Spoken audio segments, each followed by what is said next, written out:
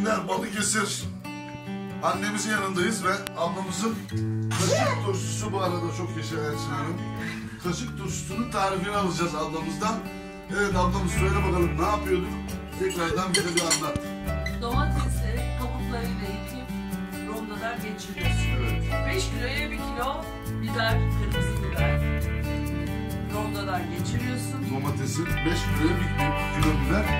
Biberi de temizleyip yine ondan ondan atıyoruz. Aynen. Ha, yıkıyoruz sadece ama. Yıkıyoruz. Evet, kabuklarıyla rondodan geçiriyoruz. İçine bir bir sirke var. Bir bardak sirke. Su bardağı sirke. Bir ba- su bardağı yağ. Yarım su, su bardağı şeker. Yarım su bardağı kaya tuzu. Dayanıklı. Normal evet. Onları koyup kaynatıyoruz. Yaklaşık yarım saat 45 dakika arası ocakta kaynıyor. Bayağı bir suyunu çekmeye yakın.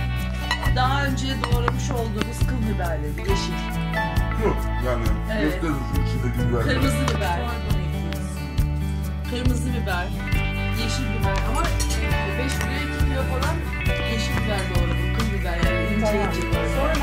Yani beşe bir yapıyoruz. Biberi ama kaynattıktan sonra mı ekliyoruz? Evet artık son 2-3 dakika içerisinde kırmızı biberini, yeşil biberini, içine maydanoz, dereotu, nane, Son iki dakika kalalım.